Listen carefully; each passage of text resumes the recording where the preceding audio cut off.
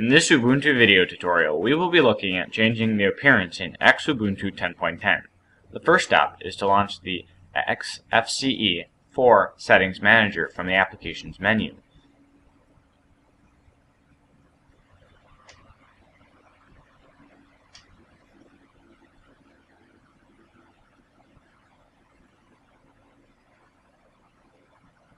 In the XFCE Settings Manager, click on Appearance. Here you can change the different theme,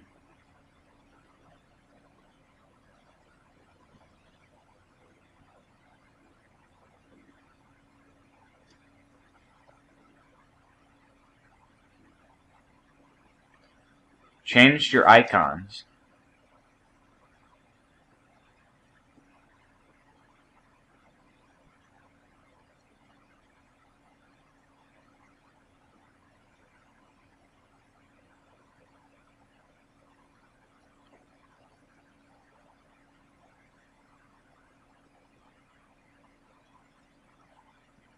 change your fonts, and manage different toolbar settings.